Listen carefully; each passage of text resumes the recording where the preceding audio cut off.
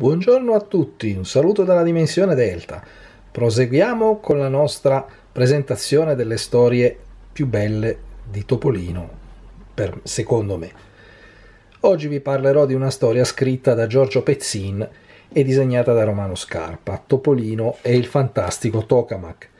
Una storia pubblicata nel numero 1459 di Topolino del 13 novembre del 1983 e che avevo fatto ristampare nel 2009 questo libretto della iniziativa Topolino Gold che consentiva di scegliere le storie preferite da ristampare. Dato che questo volume è lucido, preferisco mostrarlo sul Topolino originale.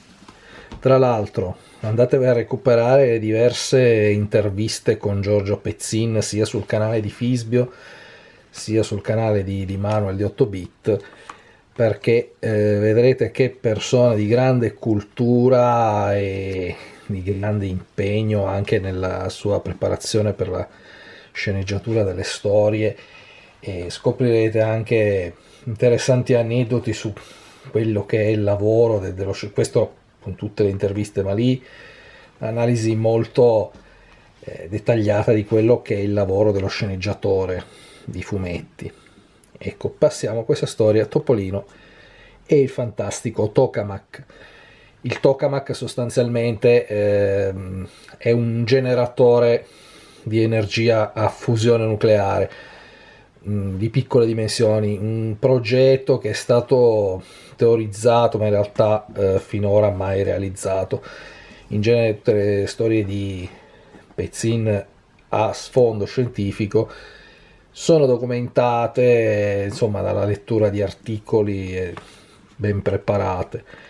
In questo caso la storia inizia con Topolino e Gancio, Bruto, personaggio di Scarpa, infatti la storia disegnata da Scarpa, tra l'altro uno dei miei personaggi preferiti, che assistono ai notiziari, notiziari con uh, guerre, carestie, e una serie di altri problemi. Topolino si nervosisce, basta, non voglio più sentire queste brutte notizie, sbatte la po' la testa contro il maniglia.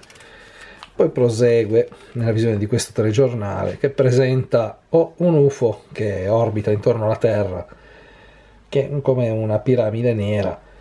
Ecco che poi i vari politici mondiali litigano per chi deve andare a visitare, a vedere questo, questo manufatto alieno cercando di capire che cosa possa contenere.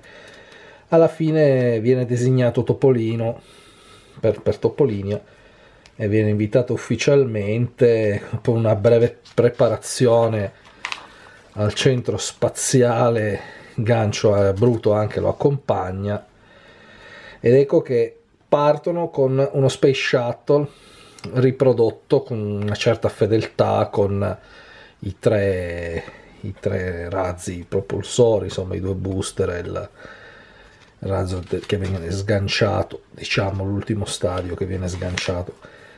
E infatti qui si vede il volo, insomma, con, finché si libera dei serbatoi e accedono Brutto e Topolino a questa piramide e notano che con uh, alcuni disegni insomma contengono una, una sorta di, di, rifornimenti per mangiare, per dormire, per, in grande quantità eh, semi che non hanno bisogno di fertilizzanti, insomma si rendono conto della grande quantità di oggetti lasciati forse come scialuppa di, di, di emergenza, insomma, per astronavi in avaria.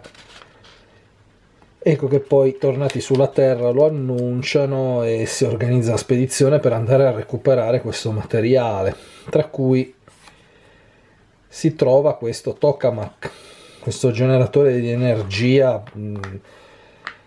non dico infinita, ma comunque sufficiente a fa bisogno della Terra per moltissimi anni. E quindi viene messo in funzione così come vengono poi eh, diciamo distribuite le altre, le altre meraviglie tecnologiche, tra cui pillole che sostituiscono il cibo, e piante che danno raccolti nel giro di un giorno. E, e così si, si avvia diciamo alla prosperità, non è più necessario il petrolio, ma anche i petrolieri possono stare tranquilli perché non hanno più bisogno del denaro guadagnato dal petrolio per poter vivere.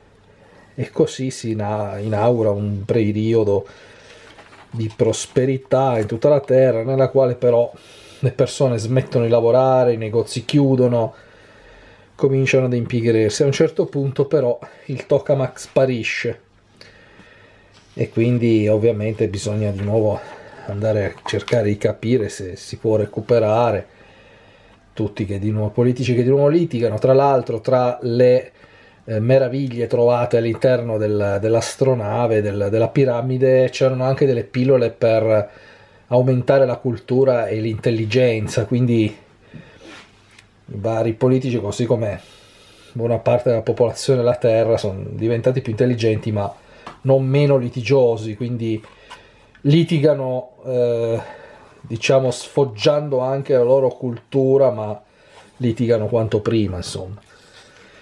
Così anche ladro che riesce a rubare insomma si doveva essere acculturato perché per avere conoscenze per staccare un generatore nucleare che alimenta l'intero pianeta. E così Topolino prepara un piano per andare suppone che possa possa, il tokamak possa essere stato riportato sulla, nella piramide, infatti verificano che c'è stato un viaggio del, dello shuttle, ne preparano uno anche loro, Topolino e Bruto, e si nascondono nel serbatoio, e, mossa buona perché avevano approntato questo nascondiglio, infatti lo shuttle viene distrutto e scoprono che è gamba di legno aveva rubato il tokamak. Così riescono poi a mettere fuori combattimento lui e il suo complice.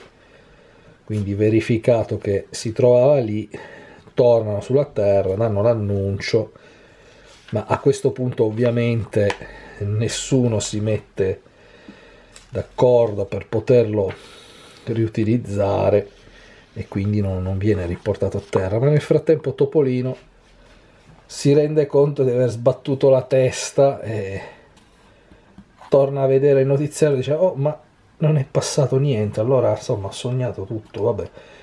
E così vede che il manufatto alieno che era stato comunque realmente annunciato esplode. E qui la riflessione sul fatto che chissà cosa ci fosse chissà se c'era davvero quello che lui aveva sognato ma in ogni caso non saremmo stati pronti per questa storia è tutto. Un saluto a tutti e buon anno.